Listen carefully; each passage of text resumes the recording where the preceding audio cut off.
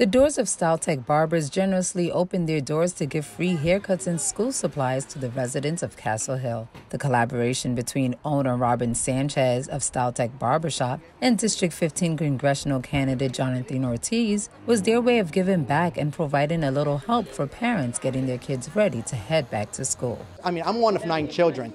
My mom and uh, my father had a very difficult time, so I figured, you know what, a haircut is the perfect ending to the back to school shopping. Yes, we have no notebooks. A lot of other elected officials have been giving out, you know, backpacks, and I was like, you know what?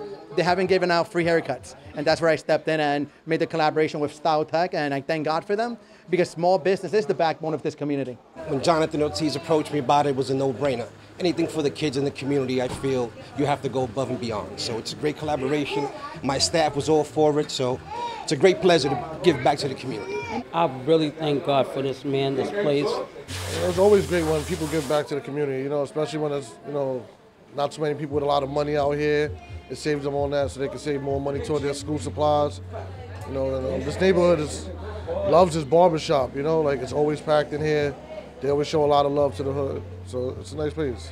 Whenever leaders and small business owners come together for the benefit of the community, it's always a great deal, and we saw that here today. For BronxNet, I'm Veronica Guiti.